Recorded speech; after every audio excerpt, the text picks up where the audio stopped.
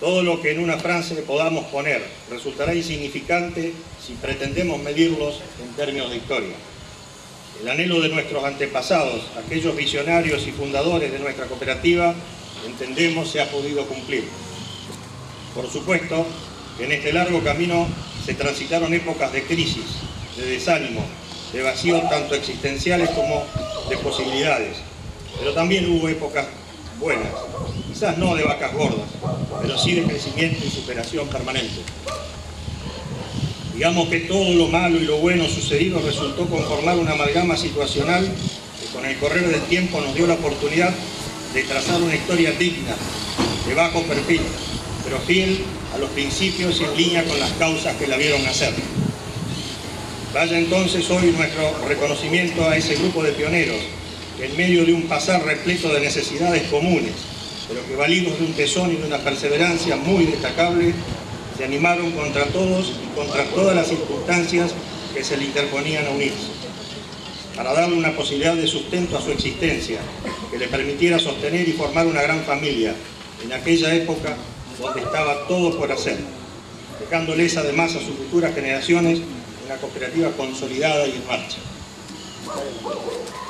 Las posibilidades que en una institución cooperativa puede brindar, contenidas en una palabra, pueden ser muchas, pero se valoran cuando realmente se necesita o cuando lamentablemente un mal trance nos hace notar que juntos todo es más fácil de resolver, o mejor dicho, que sumados tenemos más posibilidades de superar esta situación.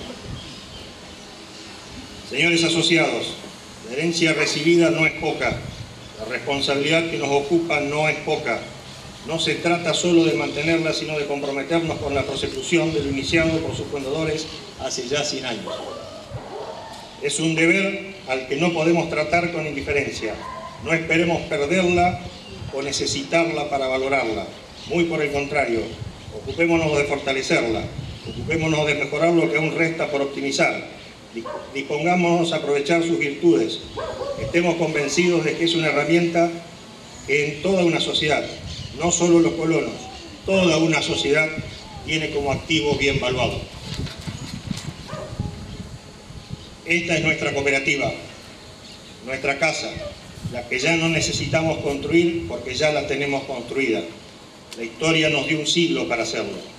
Es entonces hora de potenciarla, de seguir creyendo en un sistema único que brinda posibilidades a nosotros, los chicos, a quienes orgullosamente pertenecemos y representamos. La acción social de la cooperativa a lo largo de un siglo de vida se ha convertido en una constante que dejó su impronta en varias generaciones y un sinnúmero de acontecimientos, permitiéndole ser, sin lugar a dudas, un ícono de este pueblo, la cooperativa. Los motivos que le dan origen a su existencia en poco han cambiado a lo largo del tiempo. Se pueden interpretar de distintas maneras, con más apego o con menos.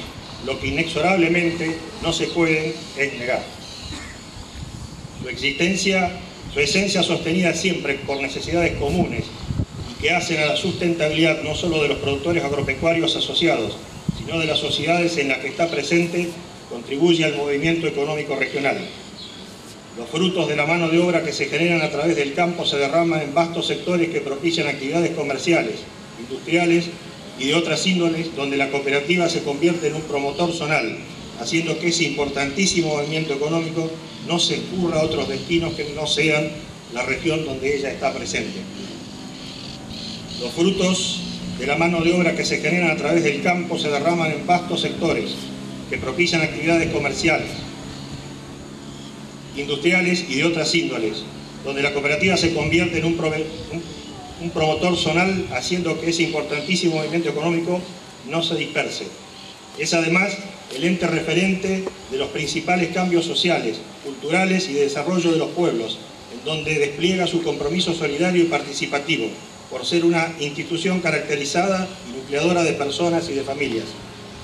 Fue y será la demandante también de necesidades que a su vez darán curso a soluciones y desarrollo que servirá al resto de los pueblos y sus necesidades. No es lo mismo un pueblo con presencia cooperativa que un pueblo sin. Más allá de cuál sea su actividad y de cuál fuese su tamaño, en tal caso lo que importa es el legado que a diario mantiene vivo, que sí con seguridad más se valora cuando los problemas comunes son de muchos, también comunes y más aún si los afectados son chicos en cuanto a su tamaño empresarial. No es lo mismo una persona en su carácter de productor agropecuario, cliente, vecino o empleado, que sea medido como un mero número, a que sea reconocido como ser y como humano, donde sus necesidades y sus padeceres sean sanamente considerados, sin mezquindades ni reparos de escala, porque todos son iguales y se los considera como tales. Este también es un rol cada vez menos común, pero del que también se ocupa la cooperativa. En 100 años se recibió mucho, pero sin lugar a dudas se ha dejado mucho más. ¿Es nuestro deber seguir haciéndolo? Sí.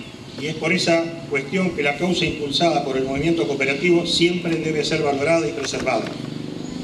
Ya para finalizar, reitero mi sentido reconocimiento a los precursores que, constituyeron, que la constituyeron, también a los que con mucho esfuerzo le pusieron el hombro en tantos años. Expreso mi sentido de agradecimiento a todos los que por esta época contribuyen a que todos los días abra su puerta, brinde sus servicios, existe y permanezca la cooperativa agropecuaria de López Limitada. Señoras y señores, por estas particulares y lamentables circunstancias, puede que no tengamos podio, pero sí con seguridad, sí con seguridad somos merecedores de este tan digno triunfo. Muchas gracias.